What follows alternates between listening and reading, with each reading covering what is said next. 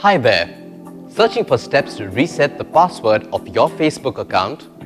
Well, I'm here to help you do just that. At iYogi, our motto is to help you and your technology get along with each other. You should make sure that the password of your Facebook account is long and strong, for which you can use combination of numbers, letters and punctuation marks at least 6 characters in length. Also, it is advisable not to use the words found in the dictionary.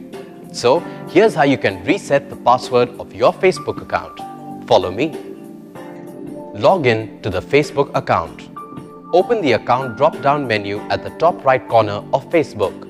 Select Account Settings. Click the edit link next to password. Type your current password you are using and then type the new password you want to use and then retype to confirm it. Click Save Changes. So, you see, the steps shown in this video can help you to easily reset the password of your Facebook account. Don't you just love technology? At iYogi, we're always here to help you get more out of your PC, along with its related software and programs. If you have questions on antivirus, security, protection, or on how to work your other devices with your PC, such as syncing your printer, MP3 player, camera or router, etc., just give us a call. We'd be delighted to help.